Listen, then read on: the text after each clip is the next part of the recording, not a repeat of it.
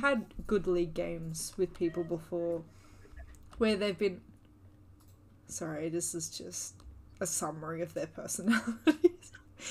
I've had really good league games before where like we've had a really good time, really good game. We might have been like losing or anything, um, but they haven't, you know, these are mine now, um, taken it to heart. And then there are games where people flame as if like, you know, they're getting their finger cut off for each game lost. And I feel like that takes so much of the fun out of